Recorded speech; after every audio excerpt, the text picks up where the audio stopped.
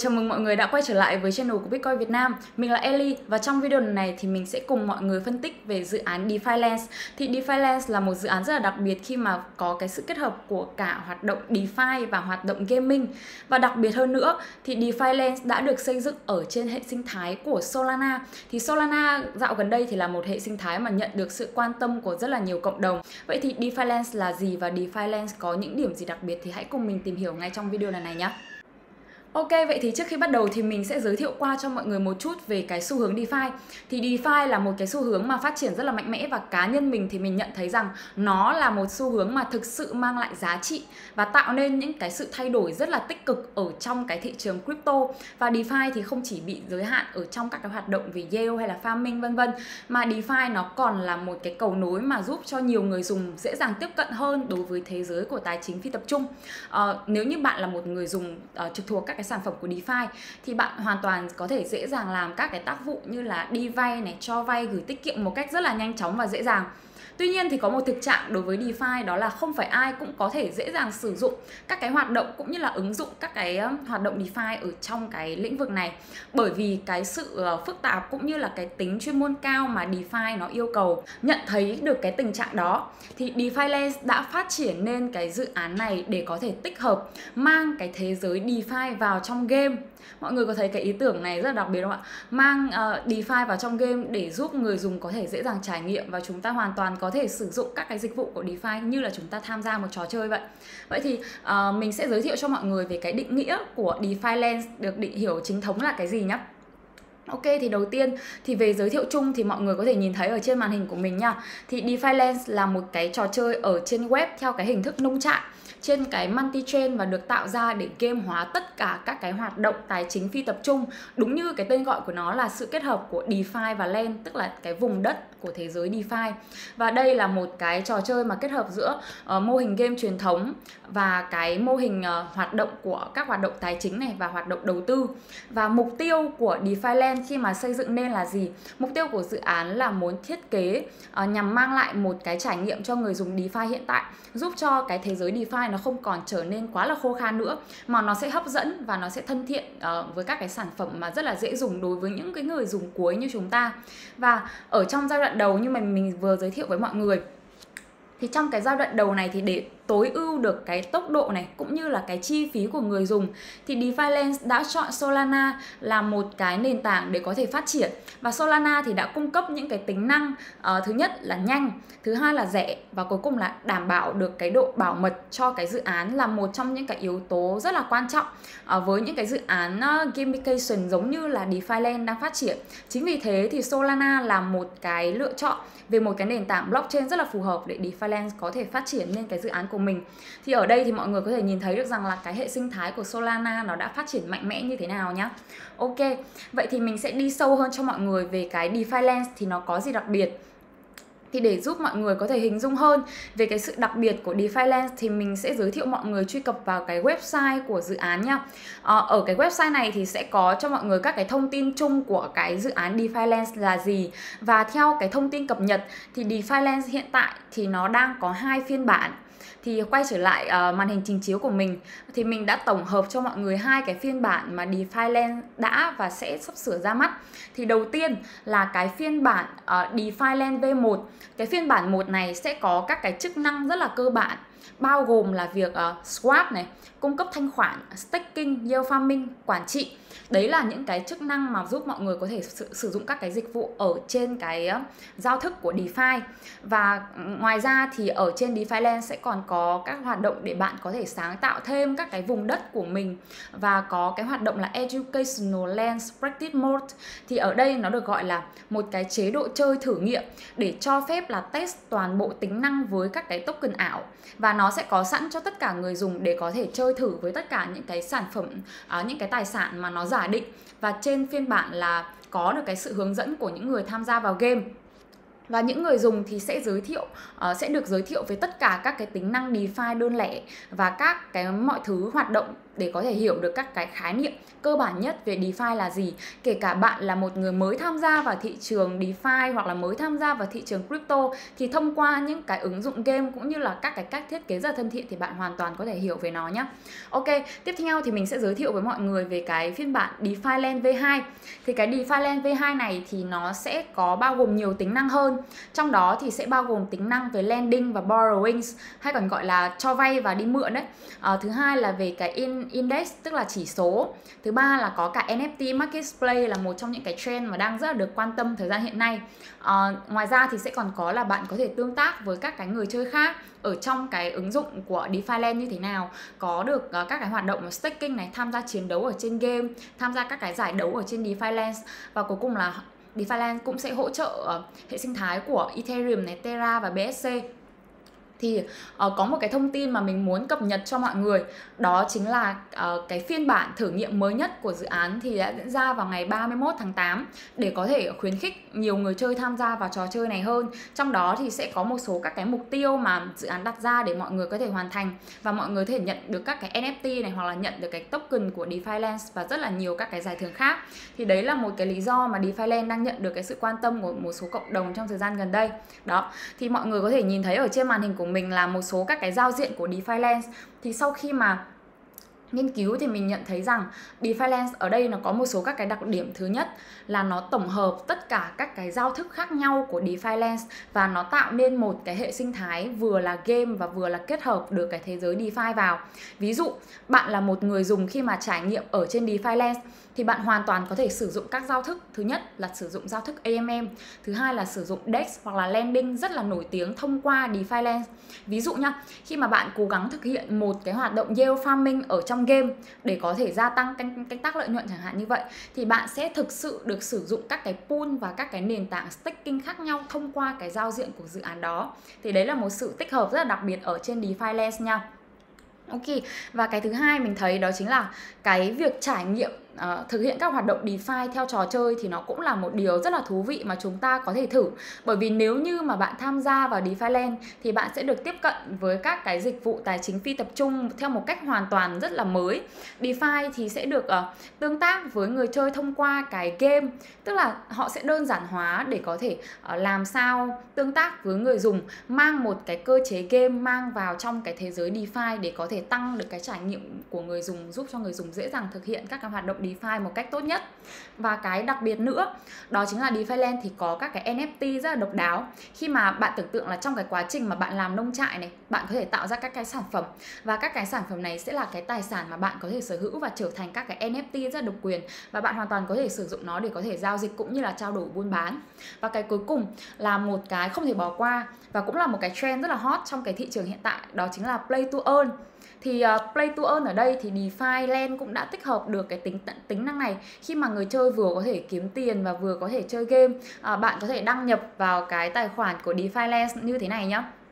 Ok, sau khi đăng nhập thì bạn có thể thực hiện được các cái nhiệm vụ hàng ngày này, tham gia sưu tập các cái vật phẩm này, tham gia thi đấu để có thể tăng thêm những cái nguồn thu nhập khác cho mình. Và ở trong cái DeFi Land mọi người để ý ở trong cái DeFi Land ở trên cái góc phải màn hình này của mình nha, thì nó rất là đặc biệt khi mà mỗi một cái tài sản thì nó sẽ đại diện cho một cái loại tiền tệ khác nhau. Ví dụ nhá, ở trong cái son demo của trò chơi thì là hướng dương này, cái USDC ở đây thì lại là một quả bí ngô. Đó, thì nó đại diện theo từng cái sản phẩm như thế này một cách rất là thú vị. Hay là cái cái corp, cái quả bí ngô ở đây thì là đại diện cho cái đồng corp, vân vân. Đó, thì những cái tài sản này nhá, thì sẽ được sử dụng để thực hiện các cái hoạt động tương tự như là ở cái DeFi truyền thống mà đã cung cấp cho chúng ta đó thì đấy là phần giới thiệu qua của mình về cái DeFi Lens đã cung cấp như thế nào và các cái ứng dụng của nó ra sao để cho mọi người có thể dễ hình dung nhá. Tiếp theo thì để có thể đi tiếp cái hành trình phân tích dự án của mình thì mình sẽ giới thiệu cho mọi người về cái thông tin của token DeFi Lens Ok, thì thông, thông tin của token ở đây thì thông tin chung của nó thì tên ký hiệu của token ở đây là DFL với blockchain hiện tại thì đang ở xây dựng ở trên blockchain của Solana và chuẩn token ở đây là SPL và cái tổng cung thì vẫn đang để tiếp tục cập nhật nha mọi người. à, tiếp theo thì mình sẽ nói về cái tính năng của token. Thì cái token của DeFi Land cũng rất là đặc biệt. à, thứ nhất thì ở đây DeFi Land, token của DeFi Land thì sẽ có chức năng là quản trị khi mà bạn hoàn toàn có quyền đề xuất này à, và bỏ phiếu biểu quyết với tất cả những cái hoạt động thay đổi của dự án và ở trong game như thế nào. Ngoài ra thì token này cũng sẽ được sử dụng ở trong game thì cái token mà DFL sẽ được cung cấp cho tất cả những người dùng thông qua tất cả các cái giao thức và nó sẽ được sử dụng để quản lý DeFi Lands cũng như là thưởng cho những cái người chơi ở trong trò chơi và cho phép người chơi có thể thực hiện các cái hoạt động stake hay là cạnh tranh với nhau. Đó, thì ngoài ra DeFi Land thì cũng sẽ cho phép người dùng có thể tùy chỉnh um, các cái mảnh đất của họ này mua trang phục mua NFT từ các cái marketplace tặng quà cho bạn bè và rất là nhiều các cái tính năng khác mà sẽ được cập nhật nhiều hơn nữa ở trong cái phiên bản V2 à, ờ, tất cả những tính năng này thì để sẽ đều có sẵn và được sử dụng thông qua cái token của dự án nha. Đó một chút thông tin để cập nhật cho mọi người đó chính là dự án thì sẽ chuẩn bị triển triển khai cái chương trình public sale ngay sau khi mà sẽ ra mắt cái phiên bản beta của mình. Ok, và ở hình dưới của mình thì đây chính là cái thông tin mà phân bố token của DeFi Land. Thì cái thông tin này thì đây là cập nhật từ dự án Tuy nhiên thì vẫn sẽ có thể có những cái sự thay đổi. Thế cho nên là nếu như mà mọi người muốn xem kỹ hơn thì mọi người có thể dừng video và cáp lại cái màn, màn hình này của mình nhé Còn đâu thì mọi người có thể tiếp tục cập nhật ở trên website cũng như là các cái kênh thông báo chính thức của dự án Để có thể có thêm thông tin về token. Đó, thì đấy là một số cái thông tin về token nha à, ờ, Tiếp theo thì mình sẽ giới thiệu cho mọi người về cái thành viên team của dự án DeFi Land thì DeFi là được uh, xây dựng bởi đội ngũ rất là giàu kinh nghiệm với những người mà đã có kinh nghiệm vừa phát triển ở trong ngành game và vừa phát triển ở trong ngành tài chính phi tập trung DeFi. Và họ đã dẫn dắt thành công rất là nhiều công ty ở trong ngành. Ví dụ như là có cái lĩnh vực uh, AR này, VR này, AI này, game này, thậm chí là có cả fintech nữa. Ờ, đội ngũ của DeFi Land thì đã từng làm việc với các cái ngân hàng và các cái công ty bán lẻ ở trên là rất rất nhiều khu vực rồi và chuyên môn của họ thì mình cũng đã vừa chia sẻ cho mọi người. Thì ở đây thì mọi người có thể nhìn thấy là ờ, bốn cái hình này là bốn cái hình đại diện cho bốn cái core team của DeFi uh, ờ, Land. Thì uh, người đầu tiên ở đây là cái team lead tức là cái người mà trưởng phát triển của dự án DeFi Land và ba người còn lại hình đại diện của họ là đại diện cho là những cái nhà phát triển game DeFi Thailand đấy. Thì nếu như mà mọi người muốn đọc thêm cái thông tin chi tiết nha, thì mọi người cũng có thể vào cái website của DeFiLens ở đây. Thì mọi người sẽ kéo xuống cái phần mà thành viên team thì cũng đã giới thiệu thông tin của các cái thành viên ở đây rồi. Đó. Đấy là về thông tin của thành viên của dự án DeFi nha. Cuối cùng thì chúng ta sẽ đến với một phần rất là quan trọng, đó chính là về nhà đầu tư và à, đối tác của dự án. Thì ở đây sẽ là danh sách một số các cái nhà đầu tư của DeFi mà đã được cập nhật. Thì DeFi vừa thông báo về việc nhận được cái khoản đầu tư grant từ Serum. Thì Serum ở đây là một cái nhà đầu tư đã đầu tư rất là sớm vào DeFi và đây cũng sẽ là một cái khoản hỗ trợ mình nghĩ rất là cần thiết để có thể giúp dự án không chỉ phát triển về mặt nguồn vốn, mà dự án còn có thể phát triển về mặt được tư vấn về các cái định hướng phát triển chiến lược cũng như là phát triển dự án ra sao. Và Serum thì cũng sẽ được tích hợp trực tiếp vào DeFiland để có thể mang lại cho người dùng những cái trải nghiệm tốt hơn thông qua DeFiland để có thể trải nghiệm ở trên Serum. Ngoài ra thì các cái nhà đầu tư nổi bật bao gồm Al Alameda Research, Jump Capital, Harmonica Brand và Solana Foundation thì mọi người có thể nhìn thấy ở trên màn hình của mình nhé. Ok và chốt lại thì mình thấy rằng trong cái hệ thống của uh, nhà đầu tư và đối tác thì mình thấy Solana là một cái mảnh ghép rất là quan trọng đối với DeFi Lens là một dự án mà có khái niệm uh, kết hợp đột phá giữa gamification với cả DeFi thì mình thấy rằng DeFi Land cũng nhận được sự quan tâm của rất là nhiều cộng đồng. Hơn nữa trong cái việc kết hợp với Solana thì đây cũng là hai cái nguồn để có thể tương tác cũng như là phát triển cộng đồng qua lại với nhau rất là tốt. Đó. Và cuối cùng thì mình sẽ cùng tìm hiểu về cái lộ trình phát triển của dự án. Thì để mọi người có thể hình dung rõ hơn về lộ trình phát triển của dự án thì mình sẽ truy cập lại vào cái website này thì mình sẽ phân tích rõ hơn cho mọi người các cái hướng đi cũng như là các cái bước phát triển đặc biệt và các cái mốc thời gian rất là đặc đặc biệt của dự án DeFi Lens nhé. Thì ở trên website mọi người kéo lên một chút thì mọi người có thể nhìn thấy cái phần roadmap ở đây. Roadmap ở đây thì có một cái mốc thời gian mà mình đặc biệt muốn nhấn mạnh với mọi người đó chính là vào cái quý 3 vào cái quý 3 năm 2021 thì DeFi Lens dự kiến là sẽ triển khai cái phiên bản beta và phiên bản này thì sẽ bao gồm các cái tính năng mọi người lưu ý giúp mình nha sẽ bao gồm các cái tính năng về swap này cung cấp thanh khoản này, yield farming chủ yếu là sẽ thông qua Serum và Radium. Đó, thì các cái bản cập nhật thì sẽ được phát hành từ khoảng 1 đến 2 lần mà mỗi tháng để có thể bổ sung dần dần các cái tính năng mới ở trên DeFi Lens.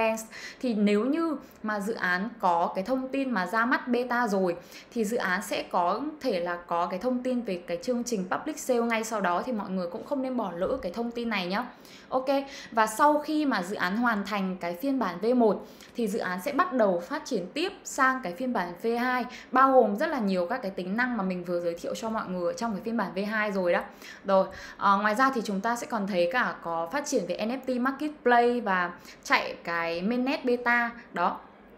Tiếp theo thì mình sẽ nói về cái việc phát triển ở trong quý 4 năm 2021 thì ờ, ở quý 4 năm 2021 thì nó cũng không có quá là nhiều dấu mốc đặc biệt. Trong đó thì đầu tiên là sẽ phát triển cái governance là cái cơ chế quản trị của DeFi Lens này, bổ sung thêm các cái uh, phiên bản ờ, uh, uh, len rất là đặc biệt bán những cái len ở trong DeFi len có cái V2 Close Beta Testing ở đây tức là họ sẽ đóng cái phiên bản thử nghiệm V2 để có thể chuẩn bị chính thức ra mắt cái phiên bản chính ờ, và tích hợp với các cái giao thức Solana phổ biến khác. Đó thì mọi người thấy được rằng là cái cơ hội mà DeFiland sẽ mở rộng ở trên hệ sinh thái của Solana sẽ rất là nhiều nhé Ok à, quý 1 năm 2022 thì họ sẽ tích hợp thêm với Ethereum và BSC bởi vì đây cũng là một trong những cái hệ sinh thái mà phát triển rất là đa dạng. Và bổ sung thêm cái bridge à, ờ, tích hợp thêm các cái bridge các cái cổng nối ở trong cái dự án này và hoàn thiện cái phiên bản thử nghiệm ở trên mobile. Tức là bạn sẽ không chỉ là có thể trải nghiệm Defiance ở trên website nữa mà bạn hoàn toàn có thể trải nghiệm nó ở trên ứng dụng điện thoại như một cái trò chơi game thực thụ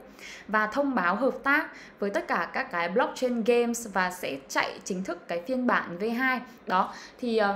uh, đấy là một số các cái thông tin tổng quan về cái việc là phát triển của dự án trong cái năm 2021 và năm 2022 thì mình vẫn chỉ muốn nhấn mạnh với mọi người là mọi người đừng quên cái cột mốc vào quý 3 năm 2021 để có thể theo dõi hơn nhiều hơn nữa các cái thông tin về dự án này nhé. Khi mà dự án vừa hoàn thành xong cái phiên bản beta thì dự án sẽ triển khai luôn cái phiên bản à, triển khai luôn cái hoạt động public sale dành cho mọi người.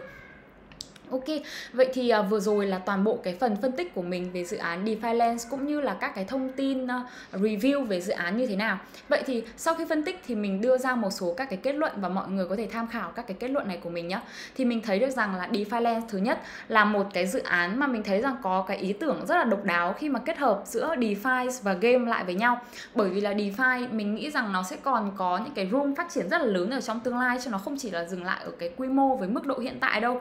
ngoài ra thì cái game này và cái NFT thì nó cũng đang rất là đi theo cái xu hướng chính xác của thời điểm hiện tại. Và mọi người có thể thấy được rằng ở trên cái thiết kế của DeFi Lens thì cũng được thiết kế với các cái giao diện cũng như là rất là đẹp mắt và ấn tượng, đúng không? Đó, thì mình thấy như vậy, với cái sản phẩm như vậy phù hợp với cái nhu hướng, xu hướng của thị trường thì mình thấy dự án này hoàn toàn có thể có thêm nhiều các cái cơ hội phát triển tiếp.